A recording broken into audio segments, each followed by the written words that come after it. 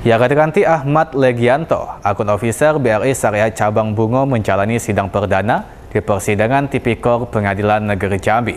Pada kasus dugaan kredit fiktif BRI Syariah Bungo, jaksa penuntut umum Kejaksaan Negeri Bungo mendakwa Ahmad Legianto dengan pasal tindakan pidana korupsi. Pengadilan Negeri Jambi menggelar sidang kasus dugaan kredit fiktif BRI Syariah Bungo dengan terdakwa Ahmad Legianto sebagai akun officer BRI Syariah Cabang Bungo pada Selasa 21 Desember 2021.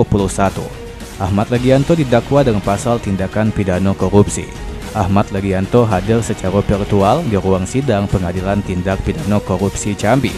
Pada sidang jaksa mendakwa Ahmad Legianto melakukan dan turut serta melakukan perbuatan melawan hukum yang menyebabkan kerugian negara mencapai sebesar 15 miliar rupiah.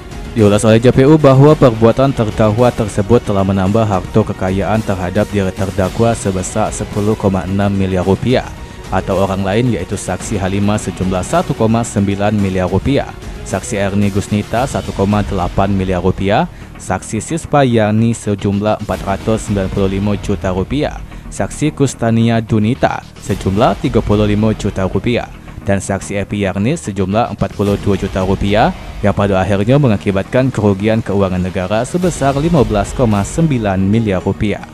Dalam dakwaan, jaksa mendakwa Ahmad Legianto sebagaimana diatur dan diancam pidana dalam pasal 2 ayat 1 junto pasal 18 Undang-Undang Republik Indonesia Nomor 31 Tahun 1999 tentang pemberantasan tindak pidana korupsi sebagaimana telah diubah dengan Undang-Undang Republik Indonesia Nomor 20 Tahun 2001 tentang perubahan atas Undang-Undang Republik Indonesia Nomor 31 Tahun 1999 tentang pemberantasan tindak pidana korupsi junto pasal 55 ayat 1 ke 1 KUHP.